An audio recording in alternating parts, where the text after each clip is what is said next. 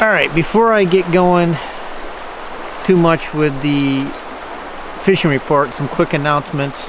Um, let everybody know we're back in the Western tribs chasing last minute brown trout. We have some really good dates still available.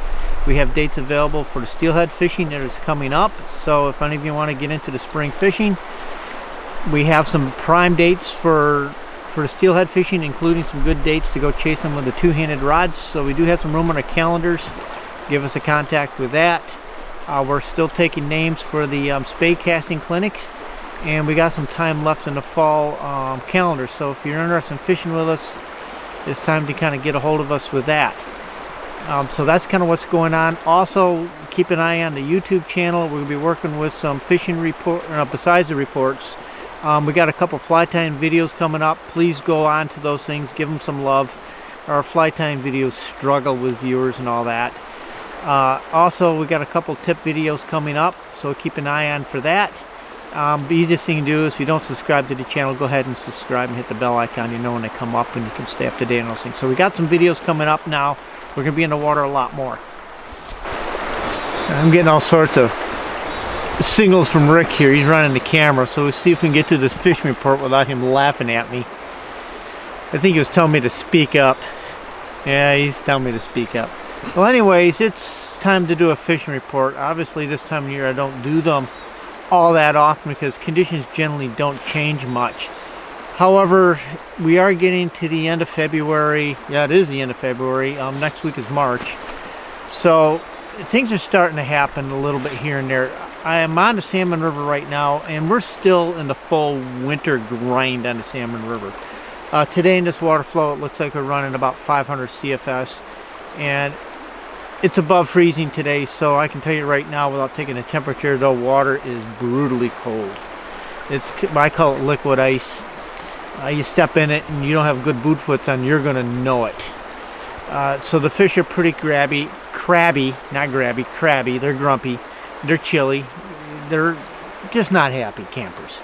Uh, so the bites we are getting are very um, short, they're very tentative, very soft uh, we're still picking them up on egg, um, egg flies, uh, but you got to be right on your hook set. Otherwise, they're going to shake you off. You're going to drop them. But it's a lot of egg flies. We're starting to see a few stoneflies showing up, so it looks like we should see that nymph bite starting up here pretty quick, uh, getting going. I think once we start getting a lot of bugs moving, hopefully their disposition will improve a little bit. And I think also um, it'll improve a little bit when we get some water temperature in here. But that's typical of this time of the year. They are crabby.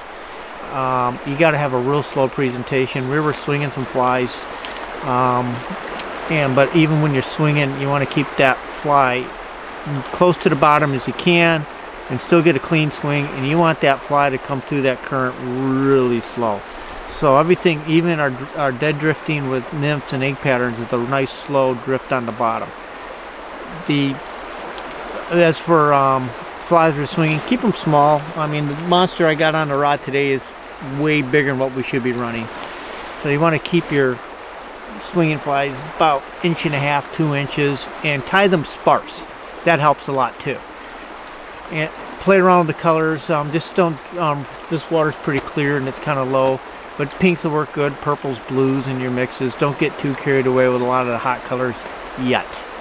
Uh, there's, I don't suspect we're going to see an awful lot of um, water flow increase, even though it's warm. We had some rains yesterday.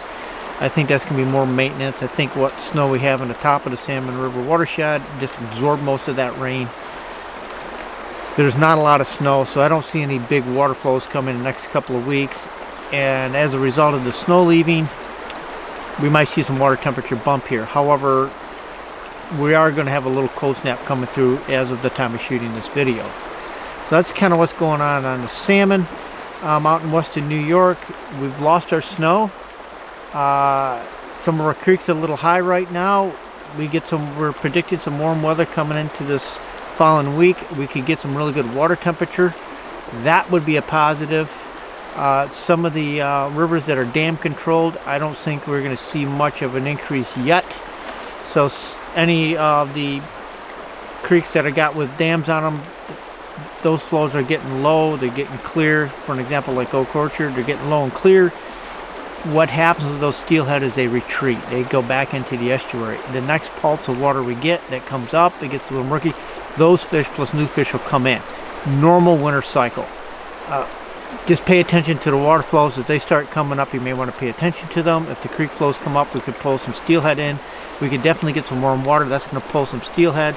And at home we are still chasing the last minute brown trout so that's still going on. And even there we're swinging some zonkers streamers for those browns we're even picking some steelhead up doing it once in a while and on some of our steelhead waters it is still an egg bite uh, but a lot of that could change quickly depending on water temperature. If we got some warm um, temperatures coming in, the western tribs could get very interesting very quickly. Uh, this comes under the, the old saying of conditions can and do change quickly, they most certainly do. So that's pretty much what's going on. Um, we still have some openings of books and stuff, so see you on the river, folks. This is Jay at Jay Peck Guides and Lost River Fishing. We are a year-round fly fishing catch and release guide service. We fish the Lake Ontario tributaries. And then during the spring and the summer, we also fish the inland trout streams, classic dry fly fishing. During the heat of the summer, we will do the warm water fishing for bass and pike. If you're interested in any of our outings or have any questions, please feel free to email us at fish at lostriversfishing.com. Hope to hear from you, and if you have any questions, feel free to contact us.